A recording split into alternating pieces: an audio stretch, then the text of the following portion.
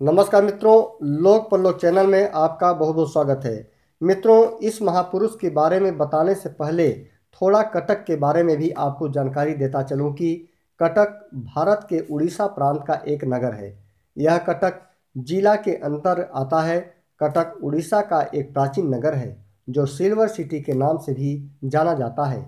केसरी वंश के समय यहाँ बने सैनिक शिविर कटक के नाम पर इस शहर का नाम भी कटक रखा गया था। यहाँ के किले, मंदिर और संग्रहालय पर्यटकों को आकर्षित करते रहते हैं। कटक उस समय उड़ीसा की मध्ययुगीन राजधानी था, जिसे पद्मावती भी कहते थे। देश के स्वाधीन होने के उपरांत सन 1948 में उड़ीसा की राजधानी कटक से भुवनेश्वर में स्थानांतरित कर दिया गया। यह नगर महानदी और उसकी सहायक नदी काठजोड़ी के मिलन स्थल पर बना हुआ है। वैसे तो कटक में बहुत से खास पर्यटन स्थल धार्मिक स्थल हैं, जैसे बाराबाटी का किला, परमहंसनाथ मंदिर, धौलेश्वर मंदिर नवड़िज संग्रहालय, नेताजी के जन्म स्थान संग्रहालय, आनंद भवन संग्रहालय कदमर सूल ई, नदी किनारे दीवार लाल बाग महल, सलीपुर ब्रांच संग्रहालय रेमेसा विश्वविद्यालय इत्यादि।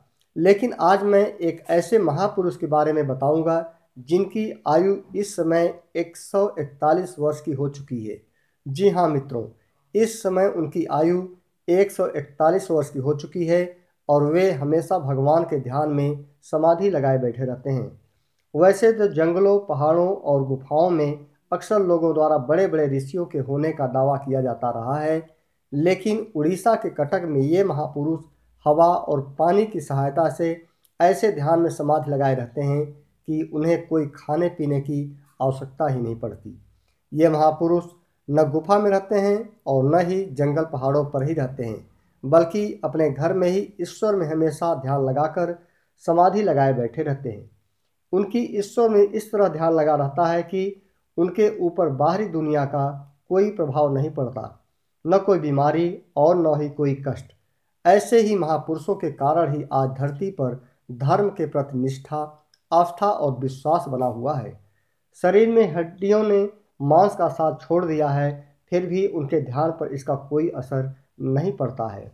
शायद हम लोग कह सकते हैं कि ऐसे ही महापुरुषों, महात्माओं के कारण आज धरती टिकी हुई है और धर्म का प्राण बचा हुआ है। नहीं तो लोगों में से इंसानियत तक मरती जा रही है और ऐसे में इस अवस्था का कल्पना करना तो आज अकल्पनीय जान पड़ता है। अतः इस महात्मा और महापुरुष से यह प्रेरणा हमें मिलती है कि आपको महात्मा, सन्यासी और महापुरुष बनने के लिए कहीं जंगल, पहाड़ या गुफाओं में जाने की आवश्यकता नहीं है।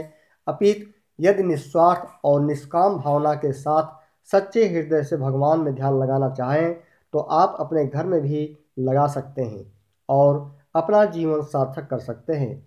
मित्रों, वीडियो पसंद आया हो तो इसे शेयर और लाइक ज़रूर करना। अगले वीडियो में एक नई जानकारी साथ पुनः मिलता हूँ। तब तक के लिए नमस्कार।